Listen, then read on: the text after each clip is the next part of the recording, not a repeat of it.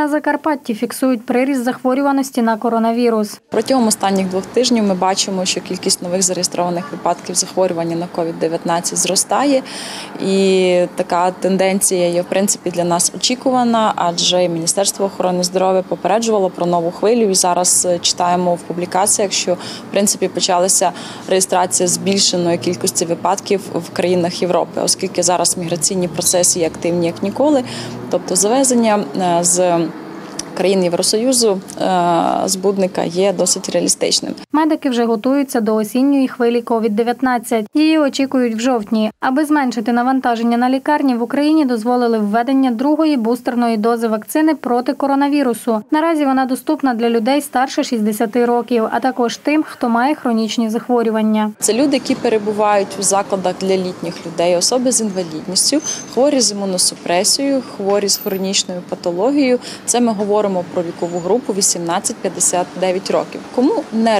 рекомендована друга бустерна доза поки що. Це є абсолютно здорові люди, які мають е, первинну вакцинацію, а також мають перший бустер.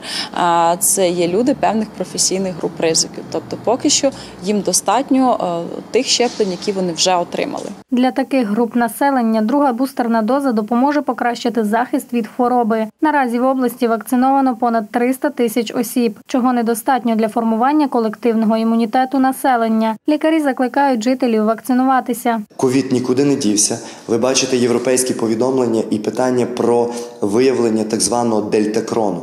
Дельтакрон це мутація омікрону і дельти. Звісно, це захворювання становить небезпеку, оскільки поєднує важкість перебігу дельти і заразність, яка була характерна для омікрону. Набагато легше всі хвороби. Е, Інфекційні профілактувати, ніж потім їх лікувати і ризик- ризикувати тим, що ви можете загинути. Вакцини наразі є в достатній кількості. Зробити щеплення можуть всі охочі в амбулаторіях області.